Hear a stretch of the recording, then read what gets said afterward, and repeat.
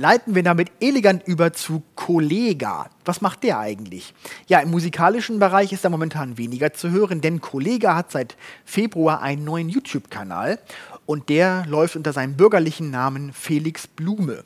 Und in diesem YouTube-Kanal gibt er ein Training oder eine Art Coaching für Körper und für Geist. Dass das eher geistlos ist, kann sich wohl jeder denken und deswegen hat sich Wolfgang M. Schmidt mit Vergnügen damit auseinandergesetzt. Hey Alphas, ich will euch jetzt noch ein bisschen Knowledge mit auf den Weg geben. Also erstmal aufstehen, aufstehen, denn Erfolg stellt sich nicht einfach so ein, ja. Ihr müsst das Saatgut erstmal säen und dann könnt ihr nachher ernten, dann könnt ihr sehen, wie da tolle Knospen erblühen. Ich meine, ihr kennt das ja auch und ich weiß es auch so von mir selbst. Man ist so in einem Hamsterrad gefangen, ja, es dreht sich einfach immer weiter und man denkt, scheiße, ich muss da irgendwie rauskommen. Und viele sind da, denke ich, an einem ganz ähnlichen Punkt und kennen die Perspektive. Und ich sage euch, ihr könnt das schaffen. Ihr müsst aber, und das ist wirklich das Wichtigste, das Feuer in euch spüren, ja. Das, das Feuer, das ist echt das Wichtigste, wenn ihr das mal so entzünden könnt. Und dann könnt ihr so richtig krass krass durchstarten und dieses Feuer, das löscht dann auch keiner mehr. Aber ihr braucht diesen Willen, da, ja, ich schaffe das, ich kann erfolgreich werden. Und Alphas, wir holen uns jetzt einfach das, was uns zusteht. Denn wir sind eine Community und ich, ich stehe euch zur Seite. Verzeihung, aber ich habe mir in den vergangenen Tagen einfach zu viele Kollega-Videos angesehen. Es herrscht große Unruhe unter dem Himmel. Für dubiose Lebenscoaches ist die Lage deshalb ausgezeichnet. Coachings gibt es ja heute für alles, für die einfachsten Dinge des Lebens. Menschen geben ein Vermögen aus, um das zu erfahren, was eigentlich jedes Kind weiß. Doch würden diese Menschen und auch die Coaches das niemals zugeben. Gesucht wird hier immer nach einem vermeintlichen Geheimrezept. Wenn man dies und das befolgt, dann, dann wird man wirklich erfolgreich. Daher wundert es auch nicht, dass der Rapper Kollega, der in Anbetracht seines beschränkten musikalischen Talents eine wirklich erstaunliche Karriere hingelegt hat, nun auch unter die Coaches geht. Jetzt hat er unter seinem bürgerlichen Namen Felix Blume einen zweiten YouTube-Kanal eröffnet, in dem es nicht um Hip-Hop geht, sondern er will seinen Fans helfen, auch so erfolgreich wie er zu werden. Das deutete sich schon im vergangenen Jahr an. Da veröffentlichte er ja das Buch Das ist Alpha, die zehn Bossgebote. Und schon jetzt sehnt man sich nach den Zeiten zurück, in denen Kollega einfach nur gerappt hat. Der unbeugsame Wille, es schaffen zu müssen. Wenn ihr dieses Feuer zum Lodern kriegt und weiter brennen lasst und immer nachfüttert mit neuem Holz, dann werdet ihr erfolgreich, egal wie ihr auf diese Welt gekommen seid und egal in welcher Situation ihr gerade jetzt seid. Das schwöre ich euch. Das kann ich euch, da kann ich euch Brief und Siegel drauf geben. Das einzig Entscheidende ist das Feuer. Und jetzt ist die Frage, wie kriegt man dieses Feuer entfacht? Der Anfang ist das Schwerste. Wenn du in den Wald gehst, Feuerholz suchst und du hast nur zwei Steine und du verzweifelt versuchst, Funken draus zu machen, damit dieses blöde Holz anfängt zu brennen, dann weißt du, wie schwer der Anfang ist. Mach das mal. Wie so oft im Hip-Hop handelten seine Lieder vom Aufstieg, vom Erfolg, davon eben, dass man es geschafft hat. Die Songs sind im Prinzip wie Carsten Maschmeyer, nur mit mehr Bling-Bling und einem pseudo-rebellischen Gehabe. Vorstandsvorsitzende und Topmanager unterscheiden sich von Hip-Hopern wie Kollega eigentlich nur dadurch, dass sie ihren Reichtum etwas dezenter inszenieren und nicht vorgeben, Revolutionäre zu sein. Angepasster als Kollege aber könnte man eigentlich nicht sein. Er ist das neoliberale Projekt Ich AG, er hat das vollkommen internalisiert und er macht daraus jetzt ein Modell, er verkauft jetzt dieses Konzept an andere. Nach dem Prinzip Fordern und Fördern verspricht er seinen Fans, die er stets als Alphas anspricht, dass jeder es schaffen kann, wenn er nur hart genug an sich arbeitet. Vollkommen ignoriert er dabei aber soziologische Erkenntnisse, neue soziologische Erkenntnisse, dass dieses Aufstiegsversprechen, das es einmal in der Bundesrepublik gab, dass man sagen konnte, ja, wer sich anstrengt, wer sich um Bildung und so weiter bemüht, der kann tatsächlich eine Karriere hinlegen, dass dieses Aufstiegsversprechen eigentlich nicht mehr gilt. Der Soziologe Oliver Nachtwey spricht deshalb auch von einer Abstiegsgesellschaft, in der wir leben. Aber Kollega sagte einfach, weitermachen, kämpfen, kämpfen, kämpfen, dann kann man auch erfolgreich werden. Wie das funktioniert, zeigt er zum Beispiel dann auf seinem Kanal in Fitnessvideos. Kollega will Fett verbrennen, Kilos verlieren, Muskeln aufbauen. Immer wieder gibt er dann Updates, wie weit er dabei schon ist. Immer steht dabei die Denkweise im Vordergrund, Erfolg ist direkt messbar. Das Fitnessstudio ist ja in der Tat einer der letzten Orte in der westlichen Welt, in der noch hart körperlich gearbeitet wird, während ein Großteil der physischen Arbeit verschwunden ist bzw. outgesourced wurde. Der Trainings- und Ernährungsplan aber wird nun auf die Geschäftswelt übertragen. Ähnlich wie Muskeln legt uns Kollege nahe, wächst auch der Erfolg, wenn man stetig daran arbeitet, wenn man früh aufsteht und sich keinesfalls gehen lässt. So, heute sind wir wieder äh, fürs Beintraining haben wir uns eingetragen heute wieder. Und man sieht auch schon jetzt schon die Kraftzuwächse nach einer Woche, denn diese Versace Duffelback kriege ich jetzt schon mit etwas Gewalt hier in den Spind rein. Jawohl. Boss Trafo läuft.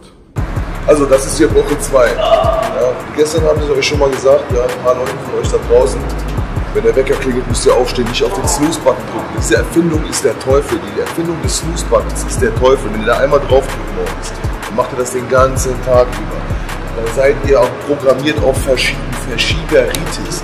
Wer Sachen verschiebt, der verpennt sein Leben. Der macht es irgendwann gar nicht mehr. mehr so, wir sind in Woche 2, wir haben schon 5 Kilo runter. Habe ich heute Morgen gemerkt. Läuft doch. Die meisten Menschen und auch die vielen Fans von Kollega arbeiten ja in ganz gewöhnlichen Angestelltenverhältnissen. Und sie sind dort auch fleißig und sie gehen zur Arbeit und sie lassen sich nicht hängen. Und wenn sie sich anstrengen, dann können sie vielleicht ein kleines Stück Erfolg haben, indem sie vielleicht einmal noch befördert werden, zweimal befördert werden. Doch dieser Reichtum, den Kollege da verspricht, den kann man ja gar nicht als normaler Mensch erreichen. So ist das System ja angelegt, dass das eben nicht passiert. Nicht plötzlich, wenn man sich anstrengt, wird man mit dem Privatjet durch die Gegend fliegen können oder wird Millionär. Kollega erarbeitete sich seinen Erfolg ja auch nur bedingt, muss man sagen. Die Anstrengung bleibt ja bei einem Künstler immer dieselbe, ob die CD nun 10.000 Mal verkauft wird oder eine Million Mal.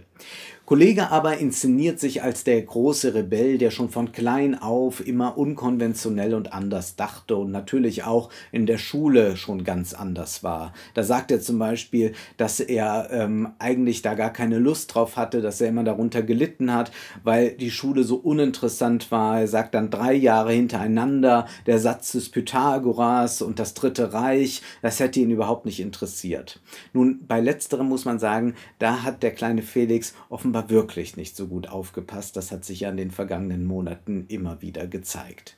Auf perfide Weise wendet sich Kollege an mehr oder weniger verzweifelte Personen. Wie ein Rattenfänger lockt er mit falschen Versprechungen und redet seiner Community ein, dass sie seinem Weg folgen müssen. Das ist ein Symptom für das große Unglück, das es in unserer Gesellschaft gibt und in dem sich viele Menschen befinden. Doch anstatt das System zu kritisieren, politisch eine Veränderung anzustreben, sagt Kollege, jetzt nimm dir einfach selbst ein möglichst großes Stück von dem Kuchen, das dir zusteht. Das ist diese, ich möchte es SUV-Brutalität nennen. Ja, man rüstet auf, man verpanzert sich und dann versucht man immer mehr die Ellenbogen auszubreiten und den anderen von der Straße zu drängen, damit man selbst der Sieger ist. Das ist das Prinzip Alpha und das funktioniert aber nur, wenn es nach wie vor eine Hierarchie gibt. Das ist ja das Paradoxe bei diesem merkwürdigen Alpha-Prinzip. Wenn alle, sagen wir 80 Millionen Deutsche, die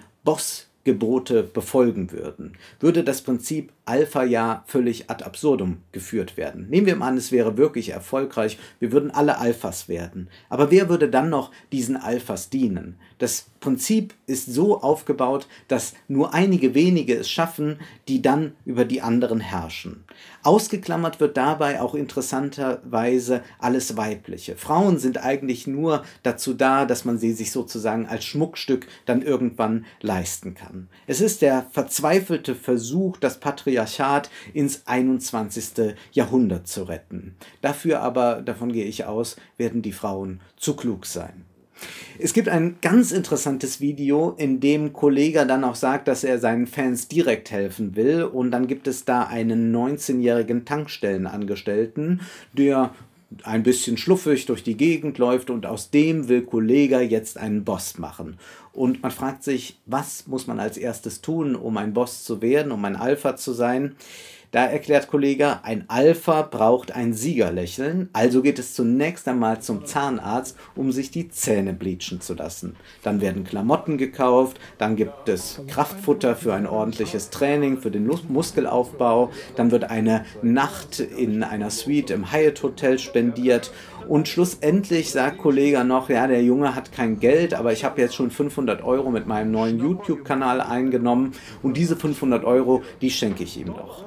Das scheint ja großzügig zu sein, aber es erinnert an etwas. Es erinnert tatsächlich an Herrscher, die sozusagen ein paar Almosen verteilen, um selbst gut dazustehen. Und es erinnert noch an etwas anderes, an etwas, was ich das Citizen Kane-Prinzip nennen möchte.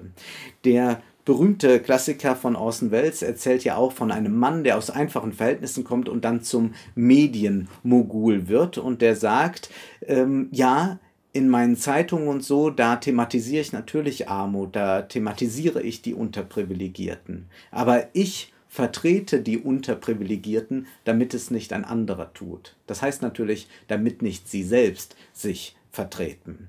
Und wie in Citizen Kane ist es auch so, dass wir ja in Citizen Kane es erfahren, wie, wo Kane eigentlich herkommt, aus ärmlichen Verhältnissen. Und so inszeniert sich auch Kollega. In einem Video fährt er in seine Heimat, in den Hunsrück, nach Simmern zurück und zeigt, wo er aufgewachsen ist, in ganz beschaulichen schlichten Verhältnissen und dass er es aber jetzt geschafft hat und dann wird er dann dort auch von einigen Fans gefeiert.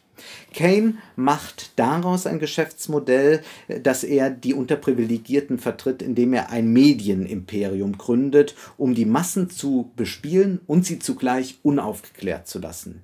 Kollega ist ein kleiner Citizen Kane.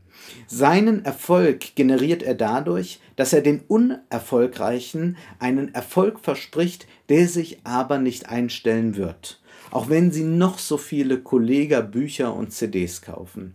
Kollegas Erfolg nämlich beruht auf dem Misserfolg seiner Fans, die sich danach sehnen, so zu sein wie er. Kollega ist der Alpha, der darauf angewiesen ist, dass seine Fans Lauchs bleiben. Ja, dies war ein Beitrag aus der Mediatheke. Es gibt noch weitere auf YouTube, diese hier zum Beispiel und noch viel mehr. Aber vor allem gibt es die Mediatheke auf Massengeschmack TV jeden Samstag neu. Und Massengeschmack TV ist ein Online-Sender mit vielen anderen interessanten Sendungen. Es lohnt sich auf jeden Fall mal reinzuschauen. 14 Tage lang ist das Abo kostenlos, also einfach mal unverbindlich testen. Bis gleich.